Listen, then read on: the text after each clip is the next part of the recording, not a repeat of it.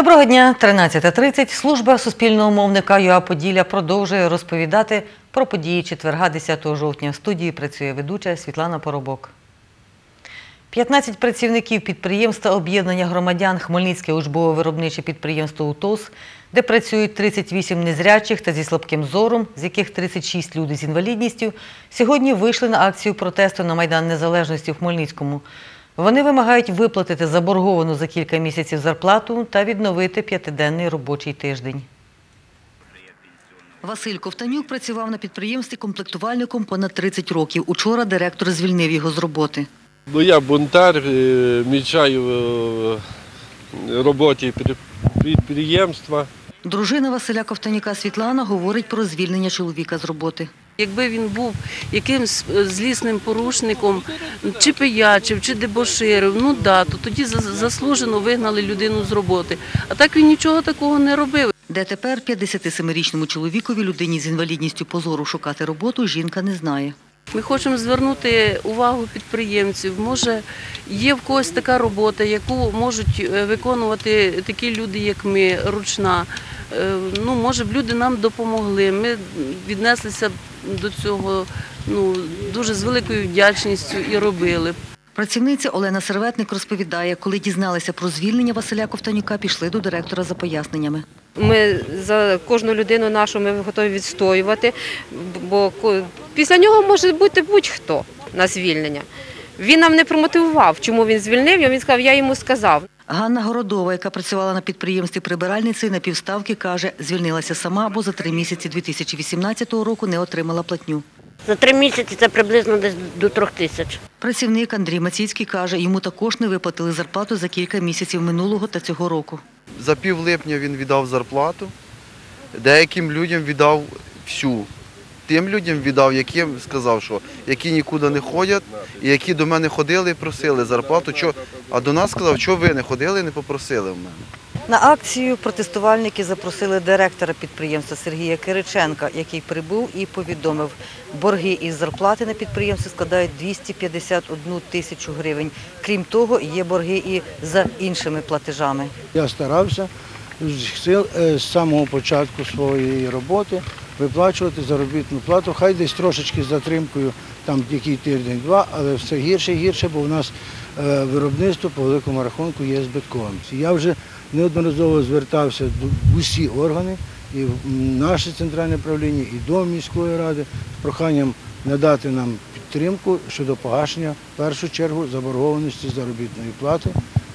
Але на сьогодні такого механізму законодавством, як надання компенсації на невиплачену заробітну плату, не передбачено. Зі слів Сергія Кириченка, підприємство з виробництва картонних тек та швидкошивачів працює в збиток на 57%, а особисто він у важких психологічних умовах. Працівники, теперішні й колишні, звернулися до відділення служби посередництва і примирення в області. Заступниця начальника служби Сніжана Паюк каже, конфлікт можна вирішити мирно. Якщо адміністрація підприємства піде на зустріч і таким чином будуть певні домовленості, ну почергова оплата, можлива навіть помісячна оплата, е, відповідні графіки встановлення погашення заборгованості можуть бути розроблені. Сергій Кириченко каже, погоджується на мирний діалог. Нагадаю, директор Сергій Кириченко очолив підприємство в минулому році. З його слів, борги з усіх виплат складали приблизно півмільйона гривень. Він скоротив до трьох днів робочий тиждень, звільнив кількох працівників та не виплатив зарплату за деякі місяці минулого та цього року. Про це каже працівниця підприємства Олена Серветник. За її словами, у липні 2019-го працівники влаштували сидячий мітинг у коридорі підприємства на вулиці Будівельників та всю ніч чатували, аби директор не увійшов в робочий кабінет. Світлана Поробок, Андрій Гуменний. Новини на Суспільному. Хмельницький.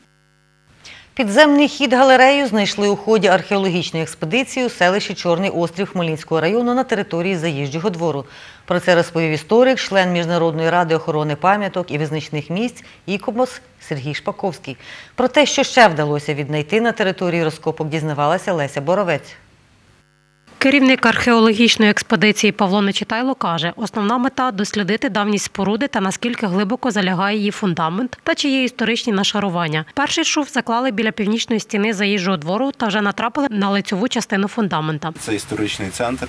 Ми бачимо, що достатньо потужний шар в Чорному острові цього 19 століття, яке там невеличке, скажімо, сантиметрів 20-30, і вже майже метр ми купаємо е, шар заповнений залишками 17 століття. І це важливо, оскільки це означає, що на цьому місці велася активна господарська діяльність, е, місто жило і накопичувало такий е, потужний, достатньо культурний шар.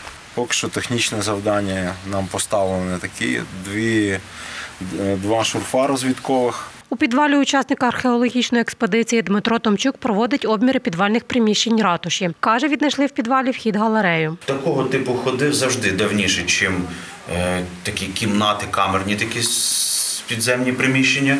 Ось воно за- засипано, є там завал далі, ми не знаємо, що далі. Ну, це окрема. Е, Це тема окремої експедиції. Ось е, подивитися, що там і як розчистити. Також є в іншому приміщенні теж такий е, нижчо, нижнього ярусу ход. Також він засипаний. У 19 столітті в Чорному острові у заїжджих дворах, один з яких зараз досліджують, проводили різні ярмарки, розповідає директор Чорноострівського літературно-краєзнавчого музею Олександр Казіміров. Додає, за радянських часів у дворі нинішньої ратуші була їдальня, різноманітні магазини, навіть кінотеатр. Чотири роки тому там сталася пожежа, яка знищила перекриття будівлі. Цю ратушу заїжджий двір будував знаменитий польський архітектор Станіслав Рублевський. Внизу між колонами, як ми зараз зруйновано після пожежі, ну, от, в'їжджали карети або брички. На першому поверсі, там в тому залі, була кузня, був ветеринар, був фуражер. А на другому поверсі це для вельмож. Е, Було сім кімнат. Археологічне дослідження проводять в рамках замовлення Чорноострівською селищною радою проєкту реставрації об'єкту архітектури заїжджого двору 19 століття, каже історик, член Міжнародної ради охорони пам'яток і визначних місць і комос Сергій Шпаковський. Додає, цей об'єкт унікальний. Це один з таких е, заїжджих дворів. е, По народному тут е, ратуша. По суті, єдиний такого плану збережений в нашій області, такого масштабу. Ті унікальні підвали 19-го, початку 19 століття з галереєю. Вже по цеглі визначать археологи, е, можливо, кінця 18 століття. Ну, це є унікальні речі, які потрібно е, музеїфікувати частково ці підвали, зберегти. Ну а саму будівлю відреставрувати і пристосувати для теперішніх поколінь. Надіємося, що в перспективі буде виготовлено проект реставрації, і ця будівля е, заживе новим життям. Леся Боровець, Андрій Гуманний. Новини на Суспільному. Хмельниччина. Центр дошкільної освіти та дозвілля почали облаштовувати в Солопківцях Ярмолинецького району. Він розташується в приміщенні колишньої середньої школи номер 1 У новий центр переїде музична школа. Тут буде актова зала, зала для занять хореографією, тренажерні зали.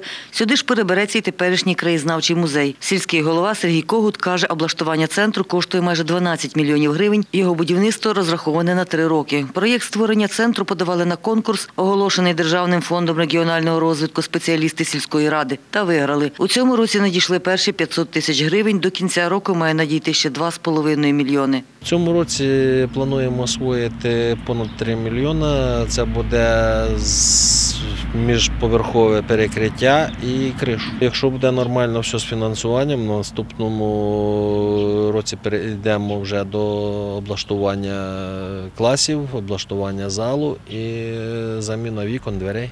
Солобковецьку середню школу номер 1 збудували в 1937 році з цегли та каміння, розібраного в 34 році православного храму та частково розібраного в 36 році католицького костелу. Виглядали вони так, як на цих картинках. Із того ж каміння в Солобківцях збудували корпус лікарні, клуб, райвійськомат, розповідає місцевий краєзнавець Олександр Тимощук. Про те, що дійсно воно було побудовано з цього каміння, свідчить те, що дуже схожий фасад школи з фасадом, який був в костелі.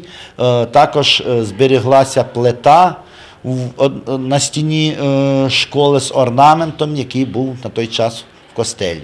Зі слів сільського голови, у тендері на будівництво центру взяли участь п'ять будівельних організацій. Виграла хмельницька компанія, працівники якої починають підготовку до капітального ремонту приміщення. Світлана Поробок, Юрій Чорний. Новини на Суспільному. Хмельниччина. Наш випуск завершено. Більше новин дивіться в наших випусках о 17, 19 та о 20.30. До побачення.